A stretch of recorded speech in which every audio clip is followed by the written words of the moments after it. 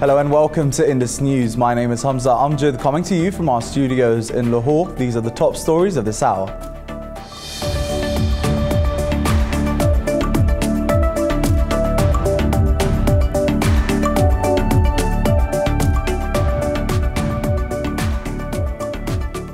We start from occupied Kashmir, where Indian forces have martyred four Kashmiris in southern Shopian and northern Handwara districts.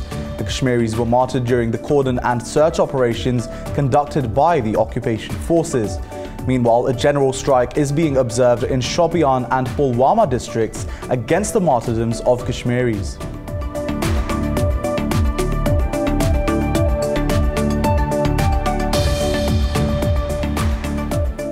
Meanwhile, Pakistan has said that the Indian dossier on the Pulwama incident in occupied Kashmir does not include any actionable evidence. Foreign Office spokesperson Mohammad Faisal said that the dossier given to Pakistan by India consists of technical details only.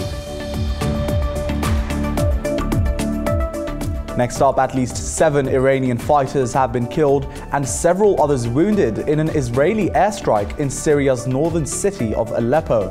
War monitors said that the airstrike targeted an Iranian weapons depot. Moving on, at least 15 Houthi rebels have been killed and several others injured in a battle against government troops in Yemen's northern province of Sada. Houthi rebels said that the government coalition forces were targeting civilian populations. Meanwhile, the Houthi rebels have claimed killing over 50 coalition soldiers in counterattacks.